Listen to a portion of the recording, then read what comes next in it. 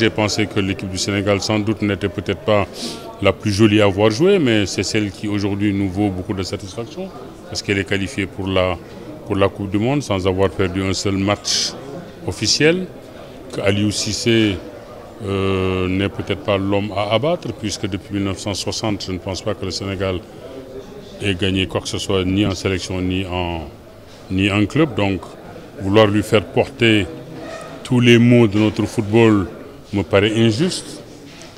Aliou euh, a le sens du métier, il a mené une carrière de footballeur professionnel très honnête. Il a été aussi de la QV de 2002 qui reste peut-être notre fait d'armes. Alors oui, je, je pense qu'aujourd'hui nous pouvons attendre avec quelque impatience le début de la prochaine Coupe du Monde. L'équipe actuelle a devant elle une page blanche qu'elle doit remplir. On ne pourra à vrai dire se prononcer qu'à la fin de la compétition.